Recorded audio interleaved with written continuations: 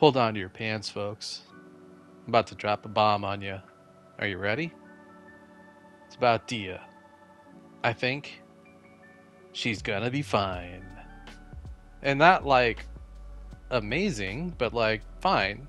And I've said this before about units like Kokomi, Raiden, Nilou, and uh, I think my channel doesn't have that many views, but the views I do have is mostly from saying units I say are going to be good end up being good, even when people say they'll be bad.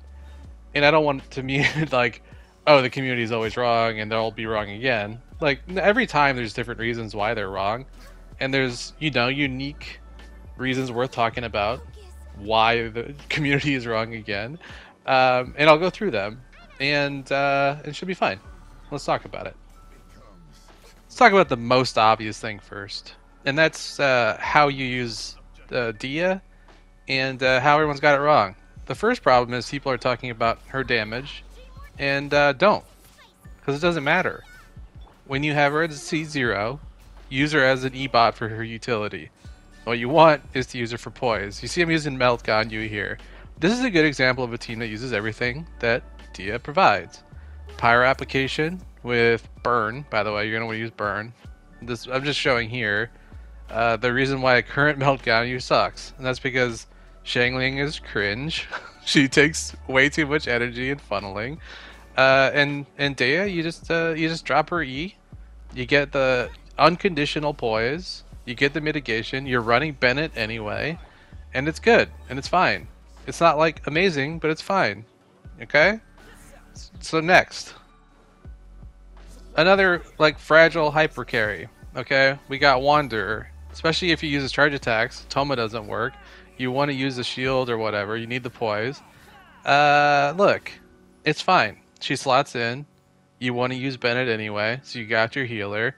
Bennett doesn't give you poise. You'll get knocked around. You'll see I get thrown around here like a little ragdoll. That's a DPS loss. I can dodge, but if I don't have my passive up, that's a DPS loss. So what we're looking at here is Dehya is providing something that Bennett is lacking, right?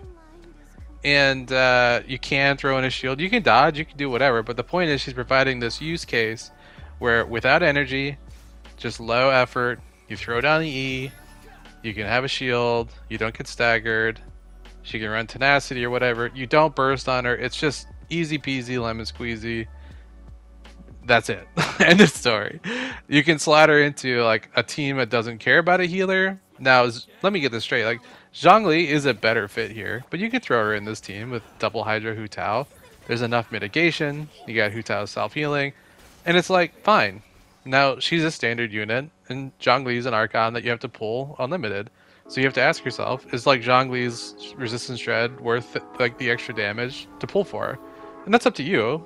But like she's fine. You can slide her in here. So basically any fragile hyper carry that either wants Bennett already uh, or you know doesn't otherwise really care that much about like a healer, and you need a little bit more mitigation, uh, then she is fine. Just throw her E down. That's it. N nothing else. Uh, then I've seen people shit on Burgeon, but like, okay, hang on. You see here, I mostly have Hydro Aura, and then I throw down Dendro, and if it's either not like uh, Nahida or DMC, or in this case Yao Yao, it's just it's procking every 2.5 seconds anyway. So, right, like Thoma hitting them once a second isn't actually getting me more seeds, so it's like fine. If you're running a Hydro on field, it's fine. Run EM on her, throw her E down. It's off-field pyro without energy. It's great. Uh, and then lastly, there's like burning. Now this is a team where you actually could burst with her, uh, and I want to just talk a little bit more in depth about burning in general. Uh, so burning has quadratic scaling. Most of your team's damage will come from grouping enemies, especially with an Anemo unit, getting the reaction damage, and because there's not much else to do in these teams, you may as well burst with Dehya, right? Dia. Look, whatever, I'll go back and forth, right?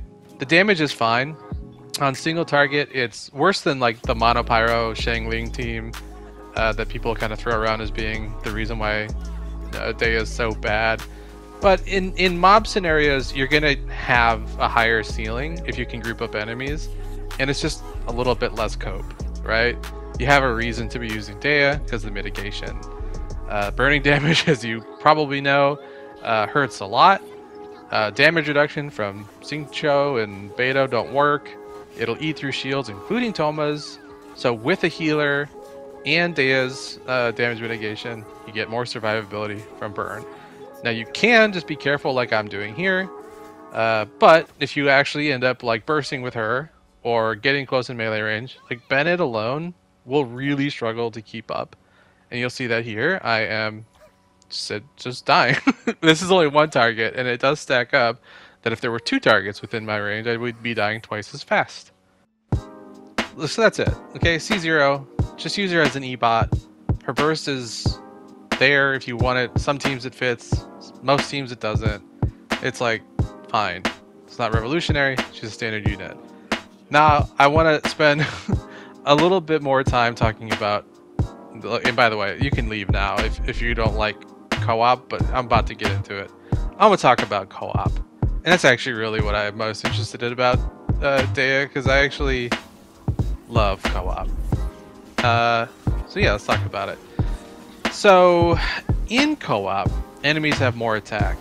And in co-op, uh, you know, like you don't have a lot of the defensive options. You don't have the Xingqius, you don't have your Beidou, you don't have like that many shielding options, right? You have uh, Diona, Layla, C2 Zhongli, which is that's Constellation territory.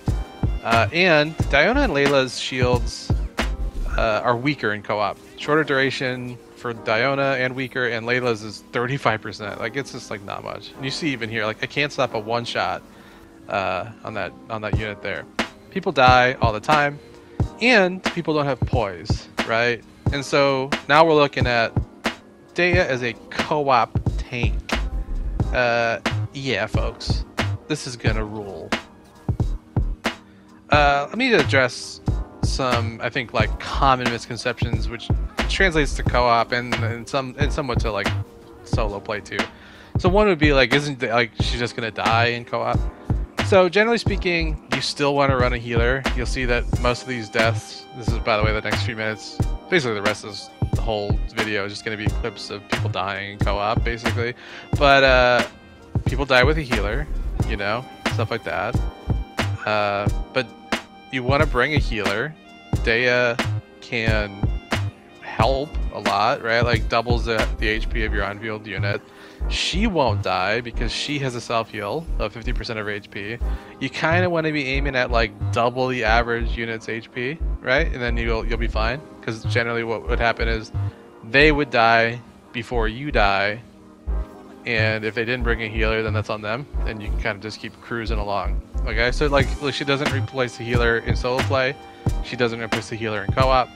Now you could if you already like don't run a healer, then everyone just gets an extra health bar. Cool, makes the NRE like better, neat. Uh, but yeah, she has a lot of utility in in that co-op. Also solves a lot of her problems, like her energy. Like she catches all her particles on field. Uh, like what are you actually doing is is using her burst on cooldown. You're actually using her mitigation when the the damage is, is kind of ticking. Uh, you don't have like sub DPS, so the fact that she can't trigger all these units uh, is kind of irrelevant. So to me, like she almost seems designed for co-op, basically a perfect co-op unit.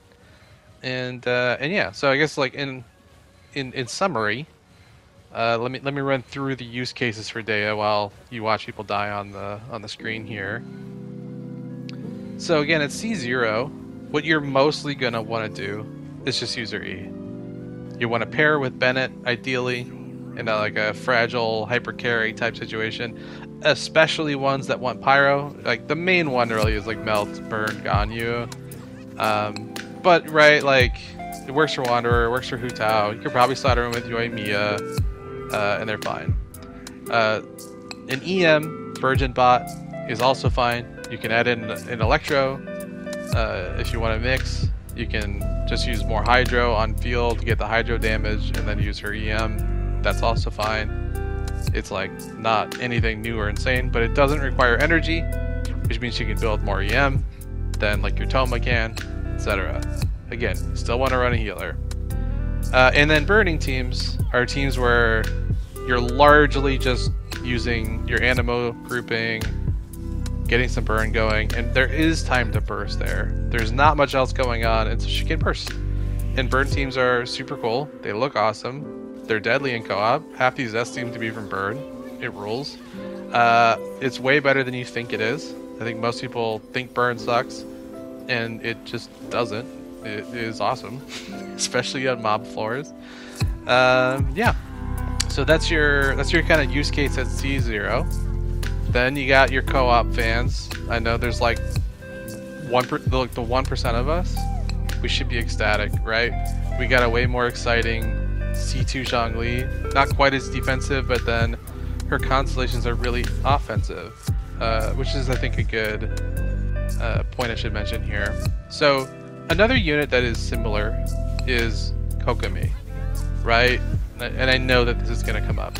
But Dea's got a crit rate sword and her constellations are all for her damage or whatever.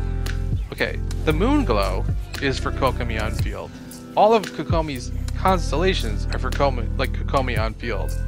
And yet, even at C6, Kokomi's best team is Ayaka Freeze or whatever, right? Like that's not up for debate. But you can still use her. And the fact that there's a a defensive unit with constellations that give her the damage of a DPS at C6 is like obviously like very luxury, but like it's not a bad thing. Zhongli's defensive cons mean that like they're useless, right? Like he doesn't get more damage.